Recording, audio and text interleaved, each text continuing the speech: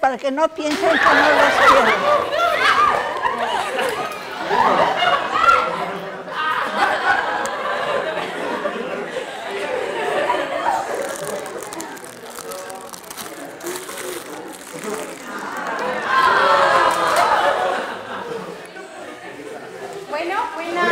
A todos. Les quiero presentar a Julieta Fierro. Es astrónoma, le gusta conocer a los planetas, estrellas, galaxias y lo que hay en el universo. Lo que le gusta hacer es divulgar, es divulgar la ciencia, es decir, darla a conocer a todos los demás. Ahora que es mayor, lo que más me emociona es jugar con su nieto. Las dejo con Con mi nieto, con mi nuera también, pero es más divertido mi nieto. Muchas gracias. Bueno, las dejo con. Ahí hay una sillita, si alguien está incómodo. Ahí están, vean. Estoy un poco mal de la garganta, así es que si me empieza a doler mucho voy a suspender. No me lo tomen a mal. Pero pensé que era mejor venir así que no venir. Muchas gracias por estar aquí. Bueno, yo soy Julieta Fierro, trabajo en el Instituto de Astronomía de la UNAM y lo más importante, pues es dar las gracias por la invitación. Yo sé que es mucho, mucho más difícil organizar un evento de estos que venir aquí y echar rollo, así es que les agradezco su esfuerzo. Sé que es la primera vez que lo hacen, espero que tengan mucho éxito, que de GAPA les siga dando harta lana para que yo vea tantas sonrisas la próxima vez que venga y me ponga contenta. Y prefiero estar con ustedes que con mi nuera. No, no dijiste nieto, era broma, era broma, era broma, toma.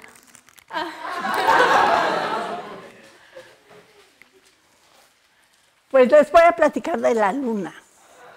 No sé por qué fue, pues se me ocurrió que había cosas nuevas de la luna. Y, y es el tema menos interesante posible, estando el universo y les voy a hablar de una piedra, pero bueno, ni modo.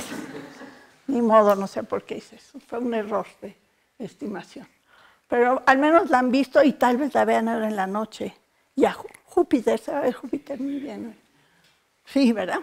Bueno. Eh, como saben, es nuestro sistema, nuestro satélite natural más visible. Tenemos otros satélites pequeñitos que son asteroides que hemos atrapado, por ejemplo, TEO 1986. Pero estos son objetos que dan vuelta a la Tierra temporalmente y después o los perdemos, se van, porque el Sol los atrae, o se caen en la Tierra y se desintegran. Y también lo que tenemos más son satélites artificiales. Y cada vez va a haber más. Y, bueno, van a ser mejor las conexiones de Internet, pero para los astrónomos son una lata, porque pues no queremos que se pongan anuncios espaciales. Y hay planes de poner cadáveres en el espacio, bueno, las cenizas, pero nos hemos opuesto los astrónomos, porque está uno viendo a Saturno y pasa el cadáver de la abuelita. Pero bueno, es inevitable. Y eso constituye la chatarra espacial y bueno, es una preocupación. Pero no voy a hablar de esas cosas tristes. Bueno, para los mexicas la luna era un conejo dentro de una vasija. Las estrellas eran los ojos del cielo y los jaguares que tenían pintitas eran una advocación de la noche.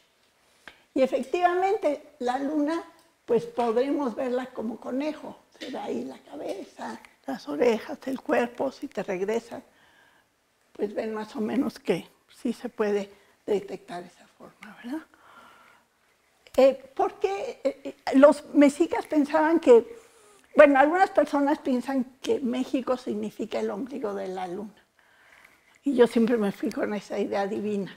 Pero ahora que estoy en la Academia de la Lengua, mis amigos neoatratos me han dicho que nada. Pero bueno, yo sigo queriendo a mi ombligo, como si fuera la luna. Eh, eh, lo que sí sucede es que el diámetro de México, el más largo, es igual que el diámetro de la luna. Y eso sí es muy bonito, ¿no? Que nuestro, nuestro país cabría perfecto en la luna. En realidad tenemos una luna muy grande, Plutón, bueno, que ya no es planeta, igual lo recuperamos. Eh, su luna más grande es Caronte. Y bueno, respecto de, de la Tierra, pues nuestra Luna también es de tamaño considerable. El primero que vio la Luna fue Galileo con un telescopio. Y para entender qué es un telescopio vas a pasar tú y tú. Y bueno, de uno de ustedes de los castigados.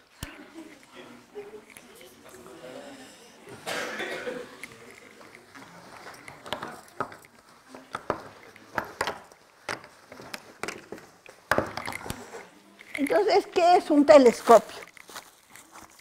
Bueno, pues vean la... Y uno de los castigados. A ver, vean la pupila del de junto. Eh, mi pupila es la parte negra de mi ojo. ¿Cuánto mide? Mm, como un poquito menos de un centímetro, un poquito, como un Poquito menos que un centímetro, la parte negra, negra. Como un milímetro, ¿verdad? Bien poquito. Por ese hoyito entra toda la luz a nuestros ojos. Por ese hoyito entra toda la luz de todas las estrellas que podemos ver. Y también cuando vamos por un telescopio, por ese hoyito entra. Ese hoyito se puede agrandar, ¿verdad? Ah. Ese hoyito se puede agrandar cuando hay poca luz y deja entrar más luz. ¿Qué es un telescopio? Pues es como tener una pupila muy grande.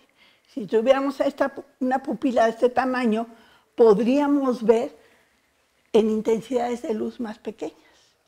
Así es que un telescopio pues, es tener una macropupila que nos deje interceptar mucha luz. Así es que le vamos a dar unas pupilas a sus compañeros. Muchas gracias. No, sí, la chica es lista, ¿eh?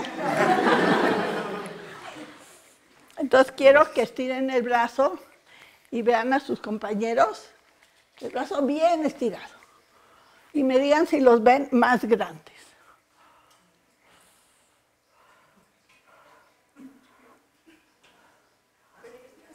No, bueno, sí, pero lo veo muy definido. los, los ves más chiquitos, ¿verdad? ¿Por qué un telescopio no sirve para ver los objetos más grandes? Sirve para verlos más brillantes, porque de lo que se trata es de interceptar más luz.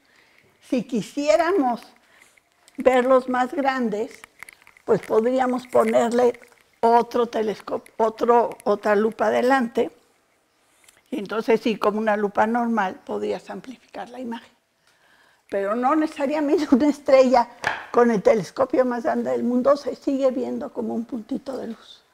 Y lo que queremos es ver los objetos que están muy lejos. ¿Cómo- ¿Qué más, qué otra cosa de raro se ve? Que se ve la luz al revés. Se ve de cabeza, ¿verdad? Es decir, yo cometí el error de traer falda, porque los astrónomos no debemos usar falda porque se nos ven los chones, ¿verdad? Bueno, ya se pueden sentar, muchas gracias. Esos son ustedes.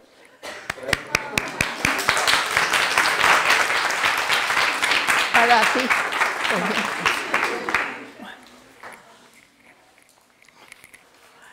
Eh, una idea es poner telescopios en la Luna. ¿Por qué? Porque desde la Tierra, por mejor que sea el sitio de observación, las estrellas no se ven como puntitos de luz, que es lo ideal, lo que se llama el límite de refracción de la luz. ¿Por qué es esto? Bueno, pues es como si meto yo esta pluma en este vaso de agua, se ve roto, ¿verdad? Pero si está turbulenta el agua, pues el- la pluma se ve toda deforme y toda chueca. Pues lo mismo sucede con la luz de las estrellas. Nuestra atmósfera no es perfectamente transparente, está turbulenta. Y eso hace que las imágenes de las estrellas no sean puntitos, sino están titilando, por eso titilan las estrellas. No es que estén fluctuando, sino que es que están brincando de un lugar a otro. Y por eso cuando nos dicen, ay, ¿por qué no ponen los telescopios en Oaxaca o en Cancún? Se ven tan bonitas las estrellas. Y claro, se ven bonitas porque hay mucha turbulencia y las estrellas están haciendo así y titilan. Y, lo que hacemos los astrónomos es poner los telescopios en los lugares más altos posibles para que las estrellas se vean puntuales. Ahora, cuando van los funcionarios de CONACIT, o en este caso de GAPA, lo que hacemos es desenfocar los telescopios para que se vean gordas las estrellas y digan, ay, qué bonitas se ven.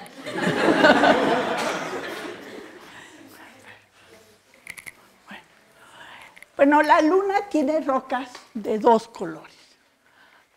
¿Te puedes sentar, por favor? Tú la puedes cargar si te hace ilusión. Siéntate, por favor.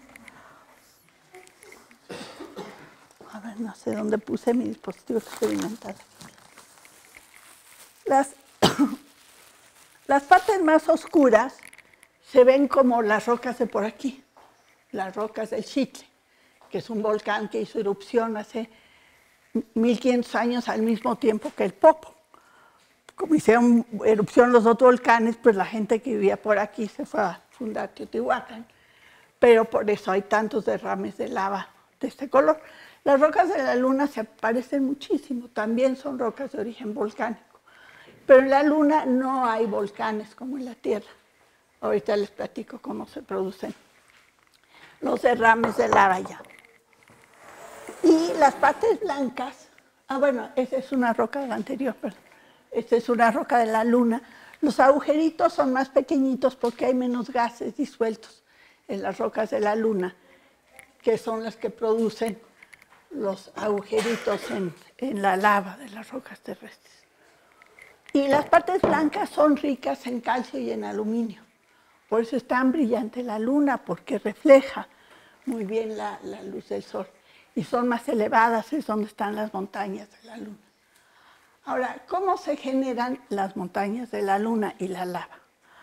Bueno, eh, hasta hace muy poquito no se sabía bien cómo era la estructura de la luna. Aunque los astronautas que fueron hace 50 años pusieron sismógrafos en la luna, cuando regresaron, los, regresaron y durante cinco años estuvieron llegando datos, pues eran tantos datos y no había computadoras como las de ahora. O sea, tu celular es millones de veces más poderoso que las computadoras de la época. Y entonces esos datos los guardaron y apagaron los sismógrafos de la Luna. Pero ahora, 50 años después, que ya tenemos herramientas muy poderosas, se, analizaron los sismos de la Luna y se pudo saber que tiene un núcleo como el de la Tierra, mucho más caliente, rico en metales y otras cosas. Y, la causa de los, de los derrames de lava en la Luna es que se hacen grietas. Y en esas grietas emerge la lava y llena las partes bajas. Y por eso las partes oscuras de la Luna son lavas endurecidas que llenan los antiguos cráteres de impacto. Y también otra cosa que pasa es que la Luna se va arrugando. Y para eso pasa tú, por favor. Sí. Y tú también si quieres. Y tú quieres pasar ahora de paso. Bueno, es una bobada lo que van a hacer, no se me emocionen, por favor. Pero bueno, a ver, ¿dónde está el dispositivo experimental? Aquí. Ahí estoy segura que lo trajimos. ¿Está aquí? No. Perdonen, ¿eh? Yo organicé todo aquí. Complicadísimo lo que van a hacer. ¿eh? Cada quien va a tomar dos tiritas y le va a poner print hacia lo largo. Ahí solo, así sí traje tres prits. Entonces así le pone cha, cha. Y ahora tú me vas a ayudar, querida asistente. Sí, lo tienes que inflar, pero no lo amarres.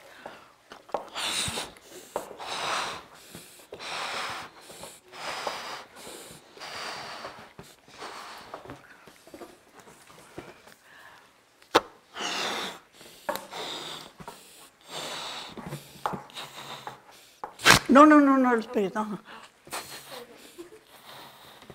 Una chica con aptitudes de manualidad. A ver, entonces ahora van a poner las tiras en los globos. Así, A ver, aquí para que el pueblo de México los disfrute. Entonces van a poner una tira como quieran, cruzadas, en lugar que quieran. Entonces, muy bien.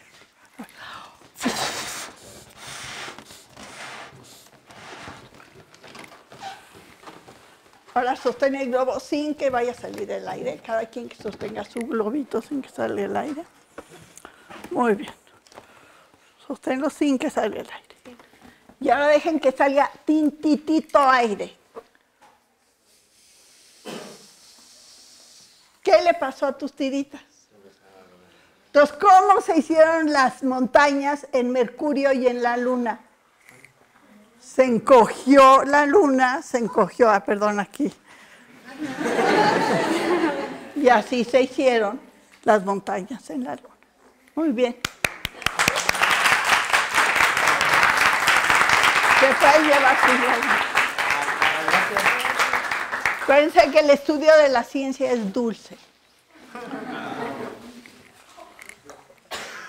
Bueno, las fases de la luna.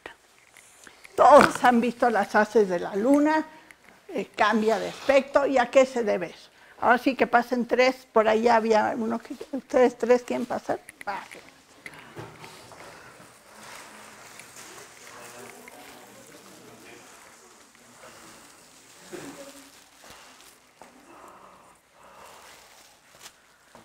No vayan a decir que esta fue de Kinder 1, ¿eh? A sus papás díganle no. Unas ecuaciones complicadísimas. Vimos los hamiltonianos para descubrirla. ¿Eh? Sí, sí, sí. Los hamiltonianos, en fin, la geofísica lunar. Váyanse nerds. Bueno, cada objeto del sistema solar que no es el Sol va por la vida con su lado día y su lado noche, ¿verdad? O sea, del lado que le da el sol es el día y del lado que le da la noche, que no le da el sol es la noche. Entonces, ¿qué son las fases de la luna? Pues son los días y las noches de la luna vistos desde la Tierra. Pues pónganse aquí, en el abismo, no vayan a caminar para atrás. Entonces quiero que hagan que sus compañeros de allá, que son la Tierra, vean a la luna así, llena. ¿Cómo tiene que estar su luna? Arriba para que la vean. Perfecto. Entonces, ¿dónde tiene que estar el sol? De ese lado, ¿verdad? Ahora, que se vea ah, así, como una de estas que tiene lo blanco arriba. Muy bien, ¿dónde que estar el sol? Perfecto. Ahora quiero que sus compañeros vean como sonrisita. Que la luna la vean como sonrisita. Muy bien, ¿dónde tiene que estar el sol? Acá, ¿verdad? Así es que las fases de la luna son los días y las noches de la luna vistos desde la Tierra. Muy bien.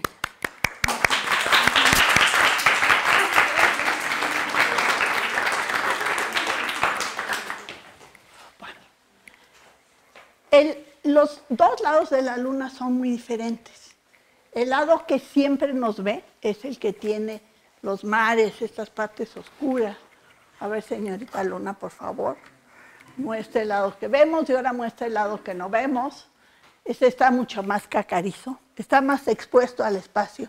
Y cuando caen metidos hacia la, hacia la Tierra, pues si la Luna se pone en su camino, pues caen de ese lado. Ahora, ¿por qué nos da siempre la misma cara a la Luna? Entonces, a ver, vengan dos víctimas que no hayan pasado. Dos niñas. Una va a ser la Tierra y otra la Luna. Bueno, así descansan de la posición. Ustedes son las estrellas, las constelaciones. Orión, Camaleón, Pegaso, en fin, lo que quieran. Y esta niña es un objeto celeste.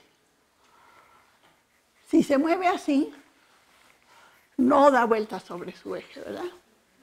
Entonces ustedes siempre le ven la cara. si gira sobre su eje, pues sí, la ven todita, ¿no?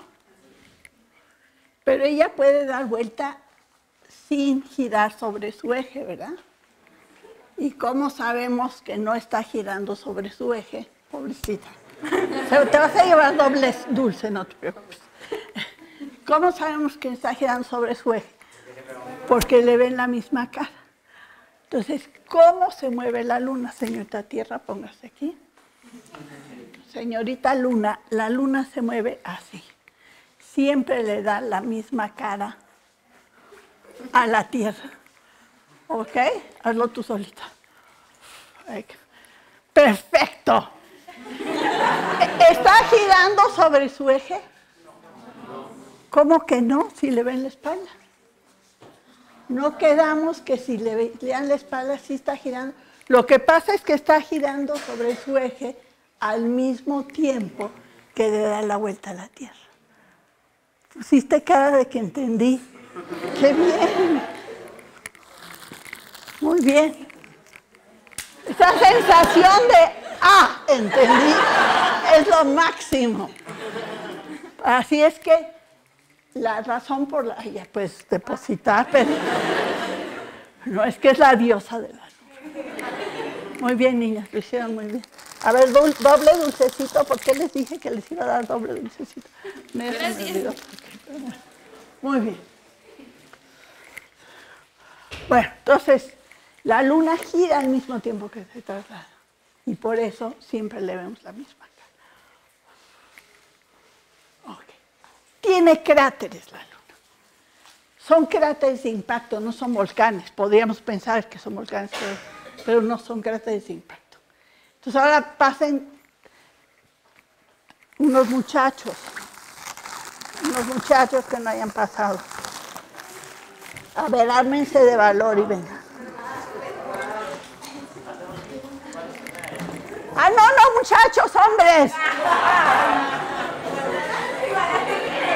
Tres, cuatro, cuatro, cuatro. Ahorita pasan todas esas niñitas, nada más cuatro niños porque no tengo más dispositivos experimentales. A ver, ah, no, sí, sí, tenemos cinco.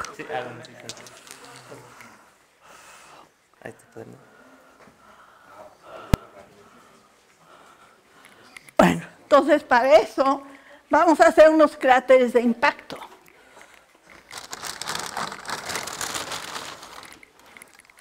Pues ustedes tienen que lanzar con cierta fuerza, pero no a matar, porque no queremos que nadie muera a causa de un impacto de meteorito en este pastelito de que no les digo de qué es. A ver, señorita ayudante, ay, qué bien. Oye, es lo máximo. ¿Dónde la conseguiste? Isis, es buenísima esta niña. ¡Bravo!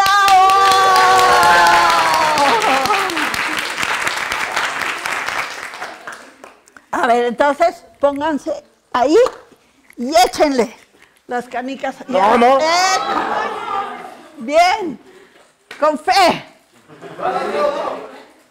Ah, bien, bien, lograste hacer un impacto.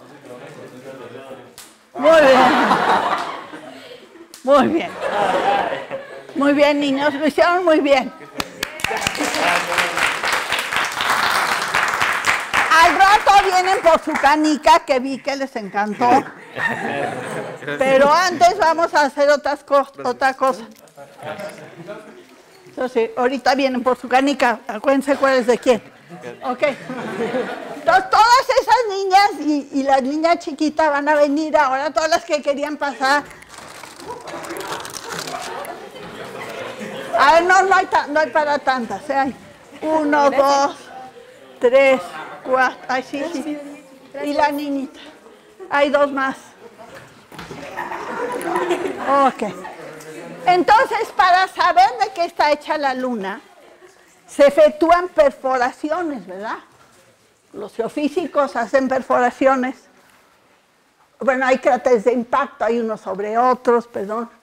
Unos sobre otros es como un charco, ¿no? Pues puede haber unos cráteres de agua sobre otros. En, México hay cráteres de impacto, pero se pueden tomar muestras del subsuelo, se hacen unos tubos, se meten y se puede saber de qué está hecha la luna, ¿verdad?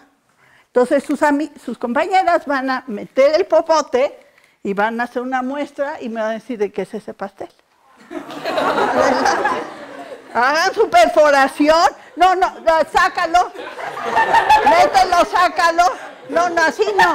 El chiste es que es lo de adentro nada más. Perforación, no, no, no, sin voltearlo. Mételo y sácalo. Ahora sí, entonces ahora sí, chúpenle y me vas a decir de qué es ese pastel.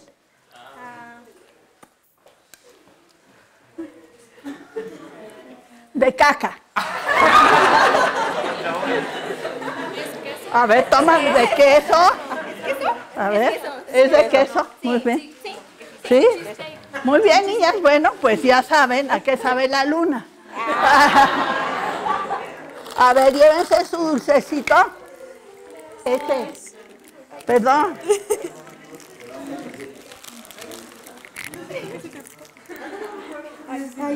Muchas gracias. Se puede llevar su popote. El chocolate, el pastel lo pueden guardar para la hora de la comida.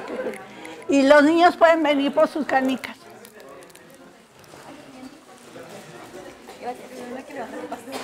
¿Eh? Bueno, lo rifan, a ver qué hacen con él. O, se lo damos a Isis, que hizo el esfuerzo de traerme. En fin, lo que quiera. Lavé las canicas antes de venir. Muchas gracias. Isis cargó el pastel y lo hizo con mucho cuidado, no lo rompió. Así es que se lo agradecemos. Muy bien. Entonces, los astronautas llevaron tubos, perforaron la superficie de la Luna y pues por eso sabemos la composición química de la superficie. Y la profundidad pues se sabe por los sismos. Ah, hay cráteres que están uno detrás del otro así, chun, chun, chun, chun, chun, te me estás durmiendo, tómate. Que Están así, chun, chun, chun, chun, chun. ¿Eso a qué se debe? Bueno, eso se debe a los cometas. Entonces, ¿qué pase una víctima?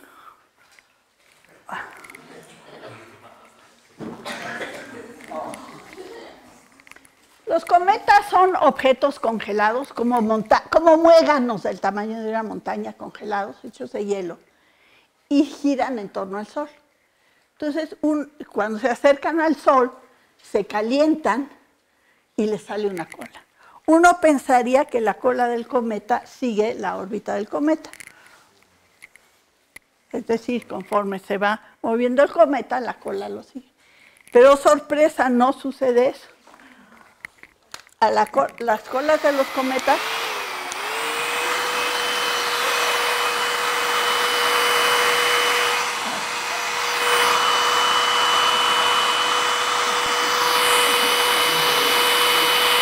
las colas de los cometas, voy a ponerlo aquí arriba.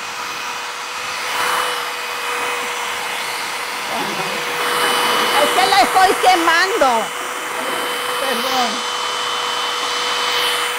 Las colas de los cometas, muchas gracias, lo hiciste muy bien. Este es tu dulcecito. Gracias. Las colas de los cometas siempre apuntan en dirección contraria al Sol. Y es porque el viento del Sol las empuja. El Sol es una esfera de gas que está evaporándose y avienta gas al espacio. Pues resulta que los cometas, como son de hielo y se, se acercan y se alejan del Sol, se van rompiendo y van dejando pedacitos de cometa a lo largo de su órbita. Y de repente la Tierra pasa por la antigua órbita de un cometa y caen pedacitos de cometa a la Tierra. Y lo que se producen son las lluvias de estrellas. Es decir, cae un hachito de hielo, se calienta por fricción, fricción endure sus manos, friccionenlo. ¿Qué les pasa? Muchísimo, ¿verdad? Entonces imagínense un objeto que se mueve a 60 kilómetros por segundo, pues se incendia y produce las estrellas fugaces. Estos objetos cuando caen a la luna, como no tiene atmósfera, bueno, la luna también atraviesa, perdón, la la luna también atraviesa la, órbita de los antiguos cometas. Pero la luna no tiene atmósfera, así es que los cachitos de cometa caen en la superficie de la luna. Y si caen del lado noche, pues son hielitos ahí enterrados, y cuando sale el sol, empiezan a evaporar y producen unos chorritos, como géiseres de gas en la luna. Bonito, ¿verdad? Eso se descubrió hace poco. Bueno, esa foto no era de la luna. ¿eh? Bueno, ¿qué hay esto de que si los hombres fueron a la luna, sí o no? Pues aparentemente sí. De hecho, los de Mattel hicieron la astronauta Barbie en mi honor. Lo cual demuestra que los de Mattel no tienen idea de que la astronomía es diferente a los astronautas. Porque cualquier día iría yo a la luna, imagínense. Me muero del miedo, del susto, de la diarrea, de todo. Pero bueno, soy señora Barbie. De hecho, mi trofeo se lo di a una compañerita de la clase de ballet que era transexual, se había eh, operado ser hombre a ser mujer y tomaba clase con nosotras y un día me dijo, ay, mi sueño dorado ser Barbie. Entonces mi trofeo es así de que me dieron, se lo di a ella y estaba feliz. Se llama Alejandra Bog, un nombre artístico así de lo más. Bueno, pues los astronautas que fueron a la Luna, el primero que fue no hay fotos de él, o sea, porque, porque no llevaba, la cámara la llevaba Aldrin y la única foto de él es la que está reflejado en el casco del que tomó la foto, que fue la venganza, porque los dos querían ir primero a la luna, entonces el que la pisó, pues el otro se enojó con él, entonces no le sacó foto. Puras fotos. Bueno, hay pasiones por todos lados, no crean que es privativo de no sé quién. Bueno, y trajeron rocas de la luna. Pero lo más, bueno, una cosa fantástica que pasó es que trajeron esta roca. Y ahora, bueno, las estudiaron en su momento, las almacenaron, 50 años después se volvieron a sacar. Y esta roca es de la Tierra. Los astronautas trajeron una roca terrestre de la Luna. Es la roca más cara de la humanidad porque cayó un meteorito en la Tierra, aventó pedazos, llegaron a la Luna, y bueno, eran puros militares los que fueron a la Luna. Porque bueno, no había cómputo, o sea, tenían que manejar bien para amortizar, ¿no? Entonces, pues por eso, ah, pues no sabían y trajeron esta roca eh, de, la Tierra, que bueno, ahora va a estar en una vitrina. Bueno, qué bueno, porque pobrecita, ahorita estuvo 50 años en un archivero, debe haber estado tristísima, que ni quien la pelara. Bueno. Ah, y eso pasa muy frecuentemente. Caen meteoritos en la luna. Positivos. Tengo por aquí, ¿eh? no, no tengo. Muy frecuentemente caen meteoritos en la Tierra y el material eyectado se calienta tanto que se funde y se hacen rocas vidriadas, porque se funden con la obsidiana y al caer hacen formas de gota. Algunas veces caen meteoritos a la Luna y las rocas llegan hasta la Tierra. Y esas se llaman las tequitas, que son estas, que en realidad, ya ven, tienen forma de gota, son rocas de la Luna pero que llegaron a la Tierra. Se fundieron cuando entraron a la atmósfera y cayeron como gotas y por eso se ven así. Que es padísimo, ¿no? Esta es una roca luna. Entonces me las regalaron en Sudáfrica una vez que fui con Mandela a ayudar con el sistema educativo y no saben ni qué regalarme. y no salió tan cara como la que les enseñé. Bueno. Ah. bueno, se ha explorado el lado oscuro de la luna, pero no el otro lado. Y ahora, bueno, y cuando, no les voy a decir otra cosa. Cuando fueron los astronautas, se dieron cuenta que había polvo muy fino en la luna, pero como talco. Una cosa terrible, o sea, se ve así muy, el pie. Pero se levantaba ese polvo, entraban a la nave y estaban llenos de ese polvo que no se quitaba con nada, les daba una lata espantosa. En los vuelos subsiguientes les dieron ese cepillo que se ve ahí arriba, esta es la pala que llevaron los botas, pero ese cepillo para tratar de quitarles ese polvo tan incómodo. Pero ni así. Ahorita ya se inventó una aspiradora para la astronauta que va a ir en el 2024. Ella va a llevar una aspiradora para su traje. Pero con e- lo que descubrieron es que ahora que sacaron todo lo de hace 50 años, analizaron ese polvo muy fino y se dieron cuenta que si se mezcla con pegamento, se pueden hacer impresiones 3D con ese polvo. Así es que la idea es que ahora que vayan las nuevas misiones a la Luna, lleven impresoras 3D, lleven el pegamento y si necesitan un, un desarmador o un martillo, pueden construirlo ahí en la Luna, incluso las bases para hacer paneles solares gigantescos y ponerlos no solo en la Luna, sino mandarlos al espacio, porque la gravedad superficial de la Luna es, más o menos el 20% del de la Tierra. Si alguien aquí pesara 100 kilos, que no hay ninguno de 100 kilos, pero bueno, vamos a suponer, allá pesaría 20. O sea, Así que sacar cosas de la Luna es mucho más barato que desde la Tierra. Se pueden imprimir paneles solares en la Luna, al menos la estructura, ponerlos en el espacio y que esa energía la pueda transmitir a la Tierra. O sea que eso está bastante padre. De hecho, Galileo pensaba que había gente en la Luna. Por eso los mares se llaman mar de la tranquilidad y de la tempestad. Y no lo dijo así tan públicamente porque lo podían matar, ¿verdad? Pero Giordano Bruno, que era su amigo, sí lo dijo y pues murió quemado en la hoguera. Bueno, todos los astronautas llevaron un montón de cosas a la Luna, llevaron un carrito, pero ahora lo que se piensa es llevar robots. Bueno, va a ir esta, mu- esta mujer porque, bueno, es un símbolo ahí de los gringos, pero en realidad para hacer la investigación van a ser robots de muchos estilos. Ya hay varios que han ido. Este, eh, sí, es que esto lo puse mal.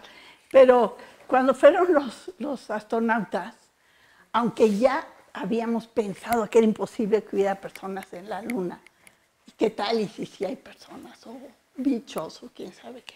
Entonces, cuando regresaron, los metieron en ese como camioncito para desintoxicarlos por si algún bicho lunar los hubiera.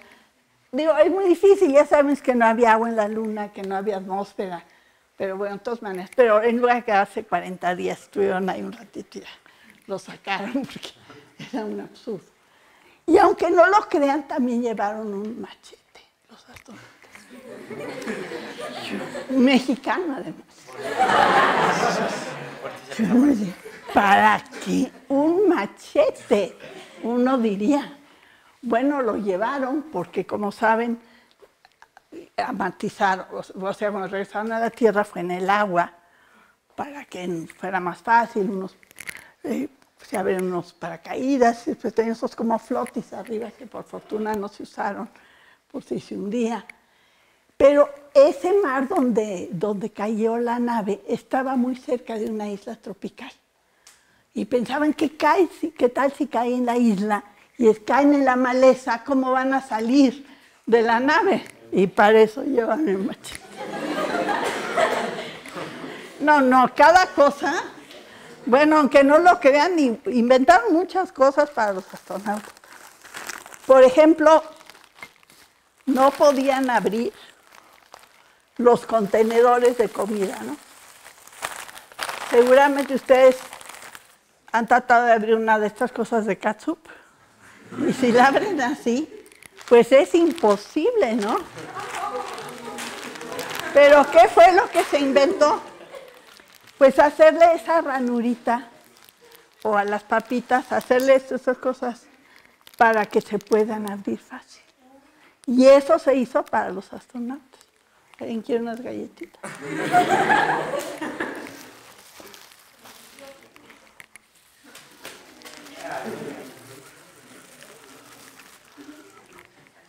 Que se acuerden de la importancia de la investigación científica. Ah. No, llevaron mil cosas. Por ejemplo, les diseñaron estas plumas. Muy fancies. Pero claro, para que puedan escribir. Pero claro, la- como no hay gravedad, la tinta no escurría. Entonces estas plumas son las plumas más caras también del mundo, porque hubo que construirles una bombita para que impulsaran la tinta, no sé qué. Y ahí sí los rusos ganaron, ¿eh? porque los rusos lo que les dieron fueron lápices.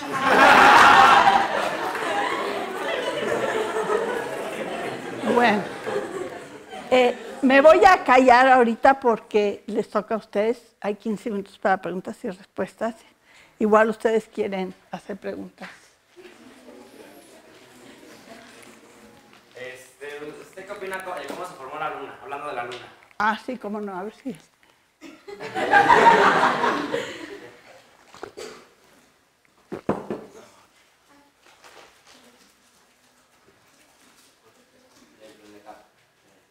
Ah, la anterior. Entonces, la idea actual es como las men- mentiras. Fatal, porque tiene demasiadas componentes.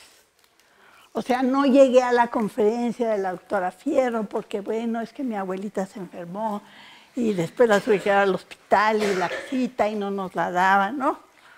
Pero ya cuando tiene demasiadas excusas ya dices es una mentira, ¿no? O sea, una mala mentira es así. Bueno, esta, la teoría de la formación de la luna es como una mala mentira. A nadie le gusta, pero no tenemos otra. El problema es que todas las rocas que se trajeron de la luna eh, son más jóvenes que la Tierra. Entonces, quiere decir que no se formó la luna al mismo tiempo que la Tierra y los planetas. Así es que la idea que se tiene es que un mundo del tamaño de Marte llegó y chocó contra la Tierra. Y lo que hizo es mandar al espacio un montón de rocas que quedaron dando vueltas alrededor de la Tierra.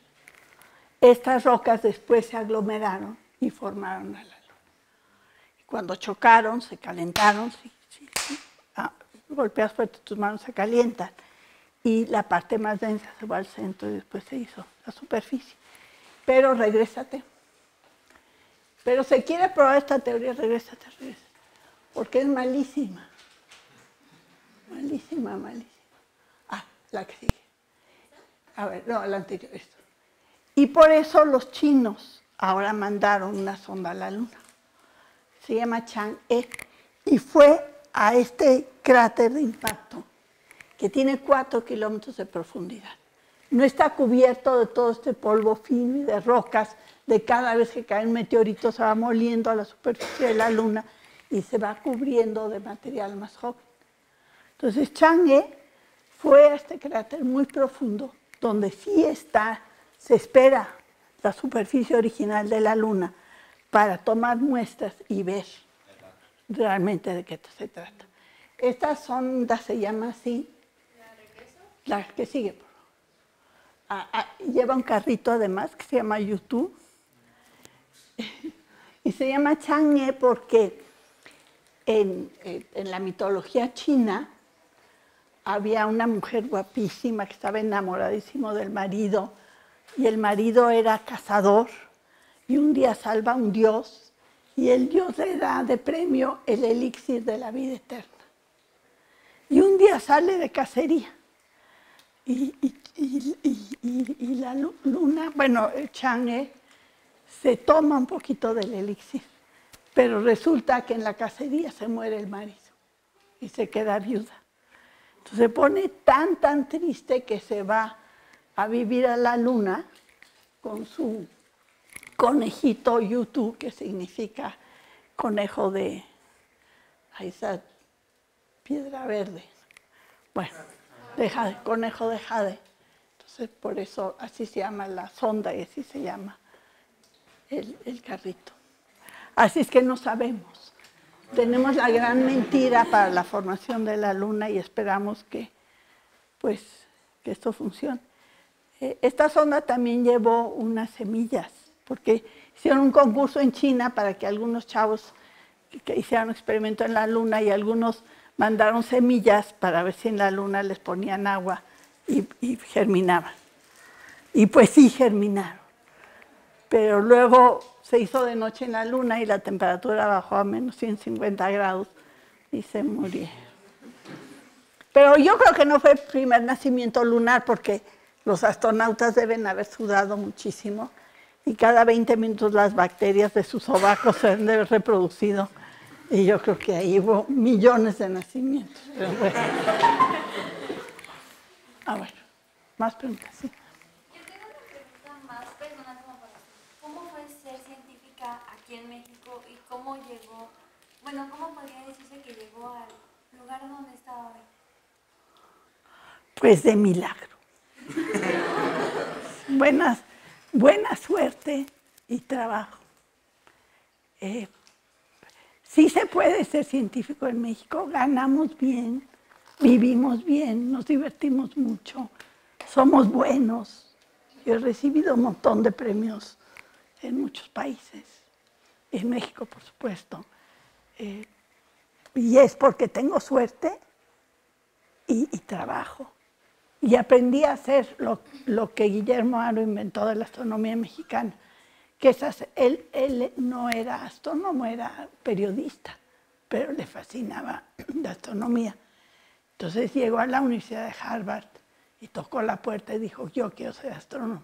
Y le cayó en gracia al director del observatorio y le enseñó. Entonces él lo que aprendió fue a hacerle una pregunta muy sencilla a la naturaleza y poderla contestar con los instrumentos que hay en México. Y pues eso es lo que ha pasado en México. Ahorita, por ejemplo, estamos haciendo unos telescopios robotizados en San Pedro Mártir para estudiar las estrellas más cercanas y descubrir los planetas que giran en torno de ellas. Y son telescopios robotizados muy sencillos, muy baratos. Imagínate, vamos a descubrir planetas desde México. Y hay unos planetas que se han descubierto de la estrella Cervantes.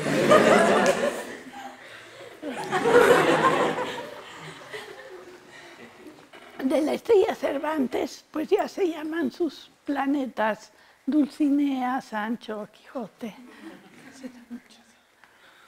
Gracias. Bueno, mi pregunta es, ¿qué consejo nos daría a nosotros, a los jóvenes, ciencia en México? Gracias, bueno, después de estas nuevas políticas que están saliendo. ¿qué, qué consejo Lo que me dijo Sarucán, deja que pase la ola. Ustedes estudien y ya para cuando terminen de estudiar, va a pasar la ola o el tsunami o lo que sea. Hay déficits científicos en el mundo.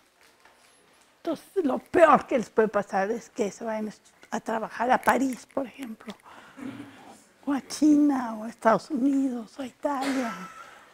Y ahí hay trabajo, Alemania. O sea, si les gusta, adelante. Mejor que se quedan en México, pero bueno. Sí. Eh, ¿Usted cree que a través de los agujeros de gusano se puede llegar a diferentes partes del espacio, ya que como sabemos, pues un agujero de gusano dobla el tiempo, bueno, el espacio, ¿no? ¿Es posible esto? Pues en teoría sí. Ahora el chiste es hacerlo, ¿no? Sí, teóricamente sí se puede, claro. Sí. Este, ¿Usted qué opina sobre la hipótesis de los multiversos? Ay, es padrísimo, tiene que ver con la pregunta del joven. A ver, señorita ayudante. No, no, no. no. Este, el tiempo estamos acostumbrados que va del pasado al futuro. Pero lo que los dos preguntan es que si hay un agujero de gusano, pues se pliega el espacio-tiempo, es decir, el tiempo también. Entonces tú podrías, saber sostenerme aquí el bucle, por favor. Entonces podríamos ir del pasado, dar la vuelta y regresarnos al pasado. Entonces yo me regreso y mato a mi abuelita. ¿Cómo es posible que yo exista? En ese momento que la mato se hace otro universo. Uno donde yo existo y otro donde yo no existo. Entonces, básicamente de eso se trata. Pero que también puede... hay como una paradoja sobre eso, ¿no? Sobre que puedes matarte, pero a la vez no ya que si te matas es como si no hubieras existido en ese momento y se vuelve a repetir la misma historia, ¿no? También puede ser así, sí, claro. Crean líneas alternas de tu vida, ¿no? Uy, sí. Sí, la idea es que hay otro universo donde hay un chavo igualito a ti, pero trae un chaleco verde. Sí. ¿Qué opinas sobre la posibilidad de que se pueda crear un agujero negro por un accidente en el acelerador de partículas? Se están creando todo el tiempo, se llaman agujeros virtuales. También se generan en la atmósfera. Cuando llega un rayo cósmico con mucha energía, se generan esos mini hoyos negros, pero se evaporan inmediatamente. O sea que no representan ningún riesgo. Ningún riesgo. Sí, se han producido. Ajá. Aparte de que tengo entendido que un agujero negro no es como nos lo manejan en las películas, que atrae todo, ¿no? El agujero de gusano atrae lo que Ah, no, sí, atrae todo. A ver, pasa.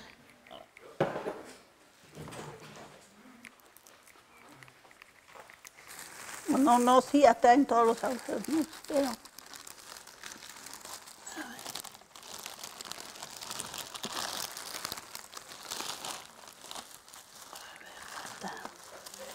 Un dispositivo experimental que puse aquí. Entonces, ¿qué es un hoyo negro? Un hoyo negro es un lugar donde las cosas pesan tanto que hasta la luz pesa. Entonces, tú para ver a mi nariz, la luz de mi nariz viaja derechito hasta tu ojo y la puedes ver. Y también derechito a todos los ojos de los demás, por eso pueden ver la punta de mi nariz. Si viéramos en un hoyo negro, a la luz le pasaría esto, trata de llegar y se caería, ¿verdad? Entonces, un hoyo negro es un lugar donde las cosas pesan tanto que hasta la luz pesa No puede escapar. no puede escapar. Entonces hay estrellas que se colapsan y eso forma un hoyo negro. ¿Cómo los podemos ver? Si no los podemos ver porque no sale la luz. Pues eso es gracias a las salchichas voladoras. Vamos a suponer que es una salchicha voladora que va por el universo. La, la. Entonces, toma tu salchicha voladora. Entonces va por el universo. Y es un hoyo negro. Entonces va por el universo. La, la. Exactamente. Este lado del hoyo negro está muy, este lado de la salchicha voladora está muy cerca del hoyo negro. Este lado está muy lejos. Este no siente atracción gravitacional. Este siente mucha atracción gravitacional. ¿Qué le pasa a la salchicha voladora? Este siente, exactamente se estira. Cualquier objeto que se acerca a un hoyo negro se estira hasta que se rompe. Y se quedan los fragmentos dando vueltas alrededor del hoyo negro. Entonces lo que vemos es la materia descompuesta. Si yo, el elefante y la torta de jamón nos acercamos al hoyo negro, nos hacemos espaguetis, nos rompemos y quedamos dando vueltas. Muy bien. Gracias. Ah, hace rato dijo de la luna, de cómo se creaban montañas y eso. ¿Por qué la luna se hace más chica o qué es lo que la provoca a que encoja y? A Mercurio le pasa lo mismo, se va enfriando y se encoge. Es como una ciruela pasa, pierde, se degasifica, sí. se desgasifica, pierde sustancias y eso hace que se arrugue. Sí. Eh, ¿Cuál fue el papel que jugaron los meteoritos en la creación, bueno, en que surgiera la vida en el planeta Tierra? Ah, muy importantes, sobre todo los, no tanto los meteoritos de metal, sino los de agua, los cometas. Cuando se hizo la Tierra se desgasificó, pero después hubo lluvias de meteoritos ricos en agua y así se hicieron los mares. Es importantísimo. Y también los impactos dieron energía y trajeron otras sustancias, aminoácidos. Sí, muy importante, sí. Este, una pregunta. Eso de especialización de los hoyos negros, en la foto del hoyo negro que hace poco se obtuvo, hay una parte que está como más ancha, la naranja está como más amplio. ¿Esto a qué se debe? Sí. En realidad, lo que estás viendo es un hoyo negro. Ah, Entonces, el- la salchicha voladora se desintegra y hace un círculo alrededor del hoyo negro. Pero Einstein descubrió que el espacio-tiempo se deforma. O sea, Newton decía, los objetos caen porque la Tierra los jala. ¿Qué fue lo que dijo Einstein? No, cada objeto sigue la curvatura del espacio-tiempo. ¿Ok? Entonces, en realidad el espacio está deformado. Y eso en los hoyos negros se ve mucho más. Entonces, lo, que muestra esa foto es el hoyo negro que no se ve y la materia que está alrededor del hoyo negro. Pero lo ves así de canto. Lo que pasa es que como está, se deforma el espacio-tiempo, tú ves la parte que está atrás del hoyo negro y la que está delante. Y la parte más brillante que se ve en esa foto es la que está delante. Y la parte de la dona que se ve arriba es la que está atrás. Pero es, está deformado, no es que lo- esté así el hoyo negro con su disco. No es que esté así, pues está así. Y por eso fue tan im- importante hacer la modelación para ver la perturbación. Eh, quisiera ser astrónomo, ¿qué carrera pudiera elegir? Física, hay que estudiar física, porque la astronomía es la ciencia de la Tierra aplicada al universo. Es, es bonita la física, ¿eh? suena así, pero es padre. ¿En algún futuro los planetas pueden llegar a tener un dueño? ¿Un qué? ¿Un dueño? O sea, Pues ahorita está esa discusión. Eh, cuando fueron las primeras personas a la Luna, las Naciones Unidas hicieron un reglamento súper menso que dice que todos los astros son de la humanidad. Tú imagínate, es un habitante en otro lado, lo que debe pensar de nosotros. Ahora que están yendo tantas misiones a la Luna, fue una de, Israel, se sacó una salsi antes de estrellarse, el año que entraba una de la India, en fin. Eh, quieren que la Luna sea como los mares territoriales. Es decir, las, las aguas internacionales cualquiera puede pescar ahí, pero cuando tú pescas los peces son tuyos. Entonces ahora la competencia es a la Luna en las regiones polares, donde hay cometas enterrados y hay agua para poner misiones. Entonces, ahorita se está rediscutiendo en las Naciones Unidas. Entonces mi opinión es que ningún astro es de nadie. Pero bueno, a mí no me lo están pidiendo.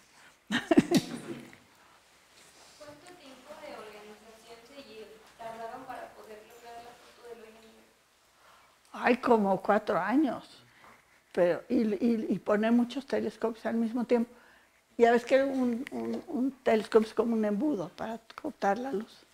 Entre más grande es el instrumento, puedes captar más luz, pero también puedes ver más detalle. O sea, ver el detalle, o sea, las montañitas, lo que sea, o una galaxia, entre más grande sea el telescopio es mejor. Como no se puede hacer un telescopio del tamaño de la Tierra, lo que se hizo es poner telescopios en muchos lugares de la Tierra. Uno está en México, el gran telescopio milimétrico, el que está en Puebla, en la Sierra de la Negra.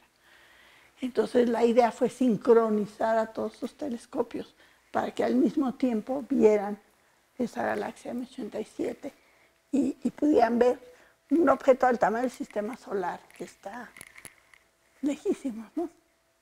Y eso fue lo más difícil, conseguir los relojes atómicos para que todos estuvieran perfectamente sincronizados. Y después que recibieron la señal, analizar. Ah, bueno, mi pregunta es, ¿qué es ser astrofísica? Una mujer astrofísica. ¿Qué hace en el campo laboral? Cuando salió, cuando pues ya estaba entrando al campo laboral, ¿qué hacía? Ah, yo lo que hice fue eh, las galaxias, que son conglomerados de 100 mil millones de estrellas, gas y polvo, tienen más estrellas en el centro, perdón, y que en las orillas. Y las estrellas son las que fabrican los nuevos elementos químicos. Entonces, hay más oxígeno en el centro de las galaxias que en la orilla. Entonces, lo que yo hice fue medir cuánto oxígeno respecto a helio hay alrededor de la galaxia. Hasta llega un momento que ya no había oxígeno. Ese es el helio con el que se hizo la galaxia. Es el helio que se hizo durante la gran explosión. Es que lo que yo puse fue una restricción cosmológica que todo modelo de origen del universo tiene que comprobar.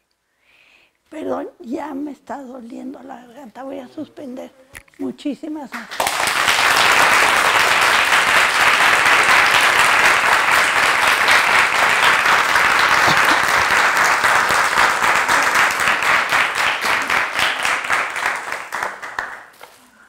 Ah, sobraron dulcecitos.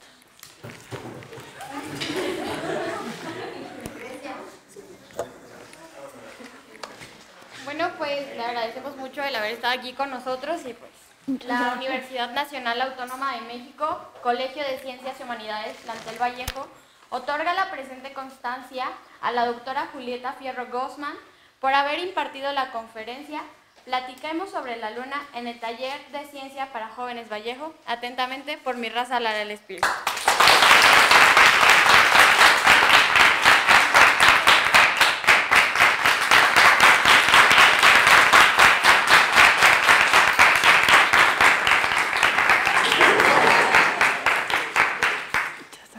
En nombre de todo el taller de ciencias para jóvenes Vallejo, le entregamos este obsequio.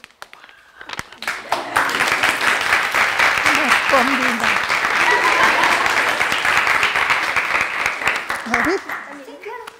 ¿No son chones?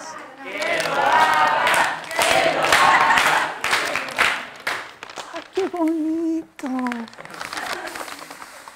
¡Ay, qué lindo!